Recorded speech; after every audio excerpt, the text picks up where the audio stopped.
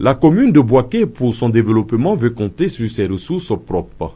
Cela par une meilleure connaissance des opérateurs économiques et des propriétaires fonciers.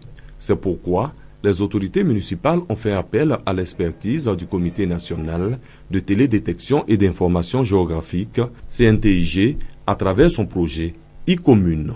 Pour les responsables du CNTIG, Boaké est un cas spécial dans le projet e-commune compte tenu des effets de la crise passée. Boaké vient de sortir euh, une situation un peu post-crise et beaucoup d'infrastructures méritent d'être encore répertoriées, voir qu'est-ce qui est existant, qu'est-ce qui a disparu.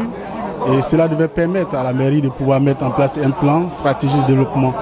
Donc un autre passage ici à travers le projet devait lui permettre de faire l'état des lieux des choses et mettre un plan stratégique en place. Pour le maire de la commune de Boaké, l'avènement du projet e-commune va faciliter les actions de la mairie auprès des populations.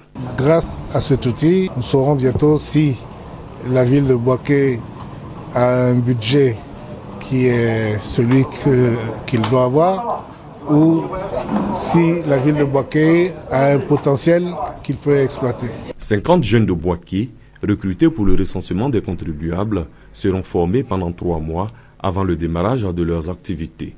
Le projet e-commune à terme permettra à la commune de Boaké d'accroître ses ressources et planifier au mieux son développement local.